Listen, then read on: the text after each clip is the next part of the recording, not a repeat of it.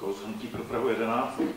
Já přeruším tady šňůru rozpil, když je to asi dneska nejdůležitější bod, který se snaží radnice eh, před občany nějakým způsobem tu tlak zatajit, nechce poprojednávat veřejně, nechce doplnit názory občanů a podobně, ale eh, já chci navrhnout na projednání zcela jiný bod. Ten eh, bod se jmenoval poradenské smlouvy a jejich zrušení.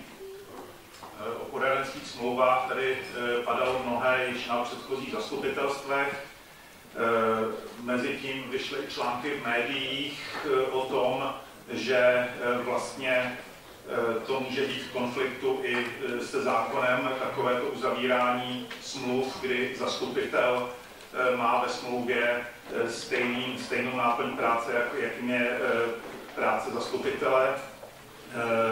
Nicméně většina těch smluv, kterou si udělala koalice, respektive lidé z koaličních stran, jak se zastupiteli, tak se přízněnými osobami, tak nadále, nadále zůstává platnou poradenské smlouvy pokrývají i oblasti, které jsou pokryty dostatečně úředníky, radními a ostatními placenými funkcionáři.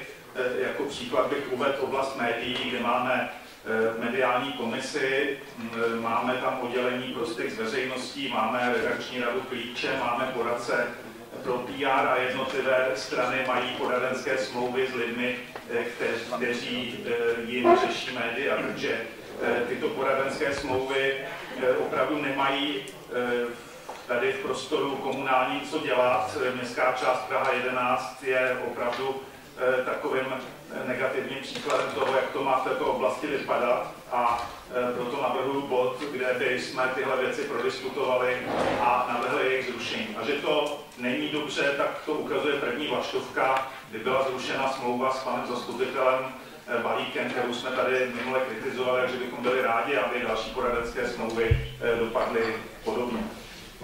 Další bod, který navrhuju, je podobný tomu prvnímu, ovšem netýká se poradenských smluv, ale týká se placených trafik míst uvolněných zastupitelů, které tahle ta rada, respektive toto zastupitelstvo hlasy koalice schválilo. Máme tři uvolněné zastupitele, jednak paní Šorchovou, která dělá předsedkyni výboru pro územní rozvoj, pana Kocourka, který dělá místo předsedu téhož výboru, a pana Holana, který dělá předsedu jakési mediální komise, která byla speciálně pro ně, aby mu mohlo být vytvořeno placené místo vytvořena. Výstupy od těchto tří lidí de facto nejsou vůbec žádné a já jenom pro takové odlehčení uvedu jeden příklad ze včerejška, kdy se mě jeden občan ptal, co se to postuluje, co se to potuluje tady u dveří vstupu do místnosti, kde se projednávala územní studie rozpily. A já jsem mu říkal, to je prosím uvolněný místo předseda výboru pro územní rozvoj pan Kocourek. Pan Kocourek tady otvíral dveře lidem, když vcházeli a potom během krátké chvíle zmizel, už se neobjevil. Já jsem od tohoto člověka neviděl říct jediné slovo, neviděl jsem napsat jediný řádek a nechápu, proč tento člověk má být placen z peněz daňových poplatníků, respektive z peněz, které si městská část vybere na daní z nemovitostí, kterou zvýšila všem občanům, aby mohly být placeny tyto trafiky. A podobně, podobně platná pro městskou část je paní Šorfová a pan Holan, jejichž výstupy jsou rovněž nějaké. Já chápu, že to je že to je prostě, že jsou to peníze, kterými se drží vzájemně koalice navzájem, nicméně divím se starostovi Pirátskému a Pirátům, že něco takového vůbec jsou schopni dopustit, když slibovali změnu Prahy 11. Dalším bodem, který chci navrhnout, je, se jmenuje Zahrady Opatov, projednání nové smlouvy o pachtu.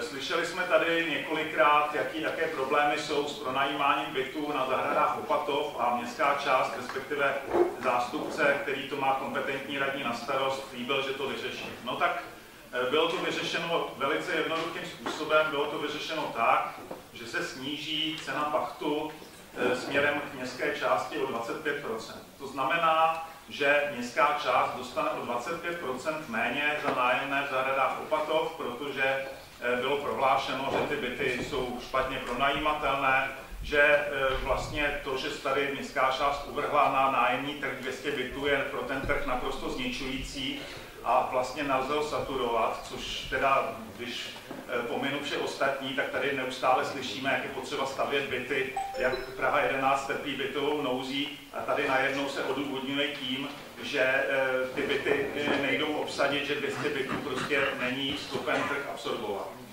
Už se objevily sociálních sítích i názory, že tahle ta věc je na trestně právní řešení, takže já bych eh, velice rád, než k němu dojde, než se k němu někdo odhodlá, než ho někdo použije, eh, tak bych velice rád, aby jsme tady v rámci zastupitelstva eh, tuto novou paktovní smlouvu projednali. Mně osobně připadá naprosto, naprosto nesmyslná, naprosto nemravná, naprosto ekonomicky zhoubná a samozřejmě jsem pro její zrušení a trvání té smlouvy původní. Tolik první, moje první kolo příspěvků.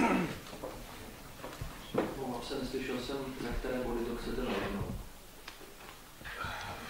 Všechno za bod číslo 3, to znamená jako bod číslo 4. Děkuji.